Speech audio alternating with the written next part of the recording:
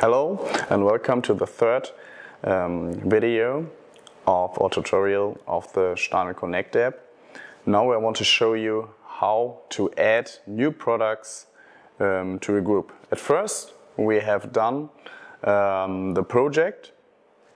The second step was creating networks and now we put the products in groups or in the networks and how we uh, handle this I'll show you like this we have the option to add a product directly to the group or re-add it in the network as a single product.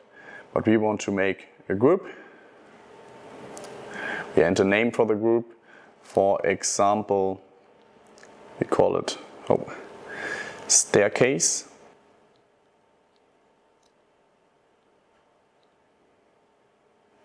Searching for products.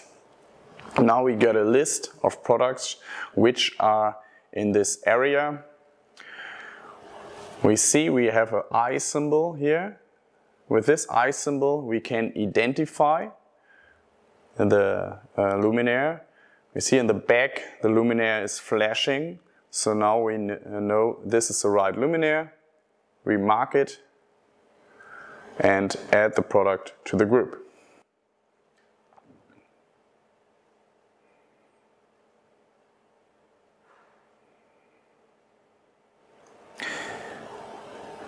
Now the data are transmitted.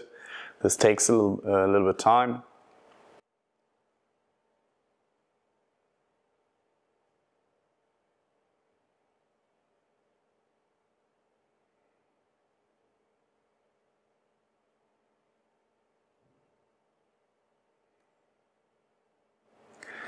Now we are ready, all data are transmitted and the product is in the group.